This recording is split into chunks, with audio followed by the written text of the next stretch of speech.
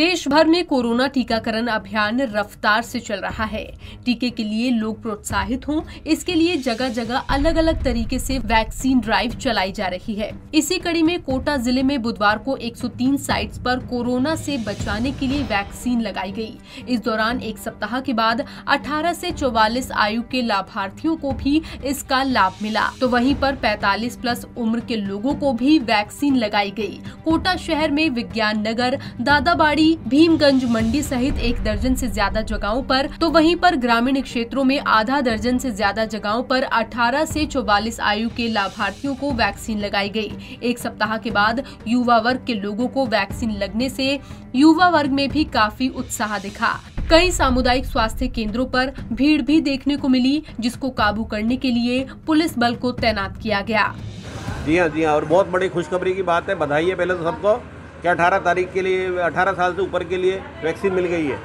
हमारे यहाँ पर दोनों की लग रही है। जो 45 साल से ऊपर वालों की तो पहले भी लग रही थी, पर उसमें बहुत कम आ रहे थे। हमने कैंप भी किए कई जगह दूर डिस्टेंस साइड पे जाके।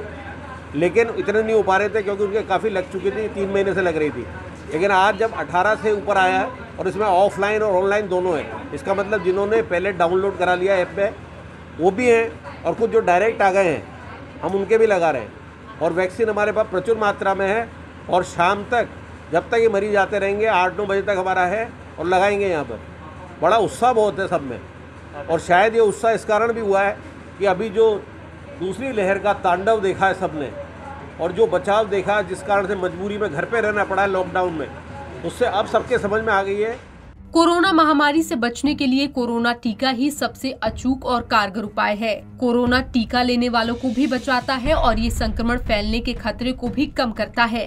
इसीलिए ज़रूरी है कि जल्दी से जल्दी लोगों का टीकाकरण हो। इसीलिए कोरोना वायरस की तेज़ी से फैल रही दूसरी लहर को नियंत्रित करने के लिए सरकार ने देश भर में टीकाकरण की रफ्तार को तेज कर दिया है, क्योंकि टीकाकरण को ही इस महामारी से बचाव का एकमात्र पुख्ता तरीका माना जा रहा है। पंजाब की टीवी के लिए कोटा से योगेंद्र महावर की रिपोर्ट।